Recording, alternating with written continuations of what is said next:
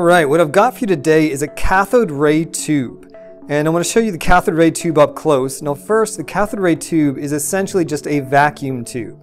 So it's a glass tube that's got some electrodes on the sides and all of the air has been sucked out. And also inside you can see this fluorescent screen. Right now it looks like it's a white screen, but as soon as something energetic hits it, it's going to glow green. Okay? And so also you can see a slit there in the end. So right here, there is a metal plate and it's got a slit in it if you can see. That's right about there, okay? And that slit is gonna allow some of the cathode rays to go through along where that slit is. So you're gonna get only a beam, only a nice line of those cathode rays coming through. And then when they hit that white plate, you're gonna see it glow green. And so you can get up close. This is the cathode end here, right? And you can see this is where the cathode ray particles are going to come out of.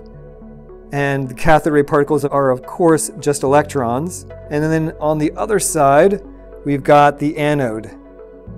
All right, what I've got here is a Tesla coil, and the Tesla coil is a way for me to get a high voltage of electricity, but it's also low amperage, so it's pretty safe. And this high voltage of electricity is going to be able to light up my cathode ray tube. When I turn that on, it's gonna be pretty loud, but let's go ahead and do it anyway. All right, there we go. Can you guys see it? We have a nice green beam right there in the middle of the cathode ray tube, right? And it's coming out nice and straight.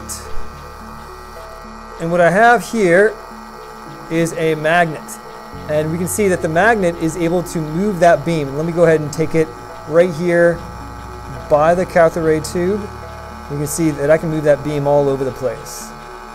Look at this. I'm gonna go up, down, and bend it as I wish, just with a magnet.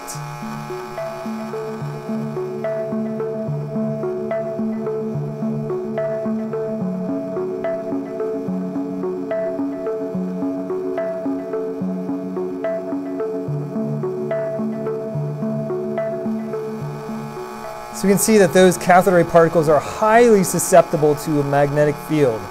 This is actually a fairly weak magnet.